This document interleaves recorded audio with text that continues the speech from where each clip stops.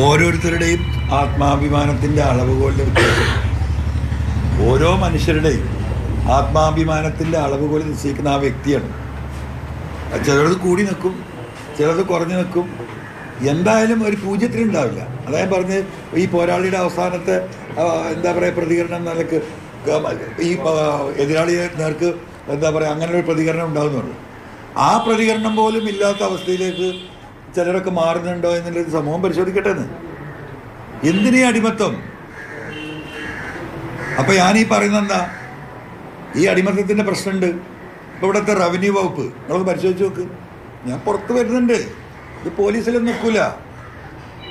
കോടീശ്വരന്മാരായ village ഓഫീസർമാര് കോടീശ്വരന്മാർ ഒരു village officer കോടീശ്വരനാണെങ്കിൽ അതിന്റെ മേലേക്ക് നിങ്ങളൊന്ന് അന്വേഷിച്ച് നോക്കൂ.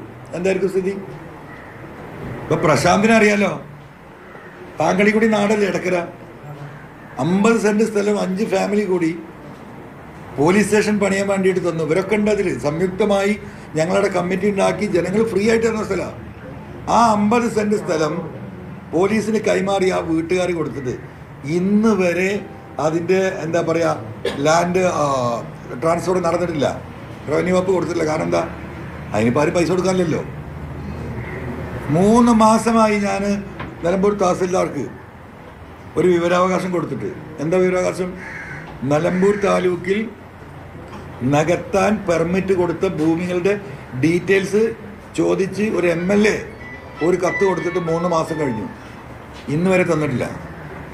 ഇപ്പോൾ കളക്ടർക്ക് അപ്പീൽ കൊടുത്തിരിക്കുന്നതാണ് അപ്പം മൊത്തം കേരളം നിങ്ങൾ പരിശോധിക്കുകയാണെങ്കിൽ ഇങ്ങനെ പലതും ഇപ്പൊ കോറികൾ കാരണം നമ്മുടെ നയരേഖയിൽ പറയാൻ വന്ന കാര്യം എന്താ കോറികൾ? ഇവിടെ എത്ര ക്രഷറുകൾ പൂട്ടിക്കണം എന്താ പൂട്ടാൻ കാരണം? പൂട്ടിയിരിക്കുന്നതിന്റെ കാരണം പറഞ്ഞത് ഇവർക്ക് പെർമിറ്റ് ചെയ്ത പാറയിൽ അവർക്ക് ഒരു ലക്ഷം ടണ്ണാണ് പെർമിറ്റ് ചെയ്തിട്ടുണ്ടെങ്കിൽ അവർ ഒന്നേക്കാൽ ലക്ഷം പൊട്ടിച്ചിട്ടുണ്ട്. അല്ലെങ്കിൽ ഒന്നര ലക്ഷം പൊട്ടിച്ചിട്ടുണ്ട്. ആ ഒന്നര ലക്ഷം പൊട്ടിച്ചാൽ എന്താ ചെയ്യേണ്ടത്? എക്സ്ട്രാ പൊട്ടിച്ചതിന് അവർ ഫൈൻ ഇടണം. ഫൈന് എന്ന് പറയുന്നത് ആദ്യം പൊട്ടിച്ചത് ഒരു യൂണിറ്റിന് എന്താ പറയുക ആയിരം രൂപയാണെങ്കിൽ ഫൈന് വരുമ്പോൾ മൂവായിരം രൂപ വരും. പത്ത് ഇരുന്നൂറ് ഇരുന്നൂറ്റമ്പതോളം ക്രഷറുകൾ പൂട്ടിക്കിടക്കുക. ഇവരിതിന് ഫൈൻ അടക്കാൻ തയ്യാറാണ്. കാരണം ഇത് പൊട്ടിച്ച് പോകുമ്പോൾ അങ്ങനെ കയറിപ്പോകും പോകും. പിന്നെ ഈ പറഞ്ഞ പോലെ വീണ്ടും വന്ന് അസസ് ചെയ്ത് കഴിഞ്ഞാൽ ഓരോ ക്രഷറും രണ്ടും മൂന്നും നാലും അഞ്ചും കോടി രൂപ കൊടുക്കാനാണ്. ഒരാൾക്ക് ഇത് കണക്കാക്കിയിട്ടുണ്ടാ ഈ പൈസ അടക്കുമെന്ന് പറഞ്ഞിട്ടില്ല. ഈ ക്രഷർ ഉടമകൾ ഇങ്ങനെ കയറി ഇറങ്ങാൻ തിരുവനന്തപുരത്ത്.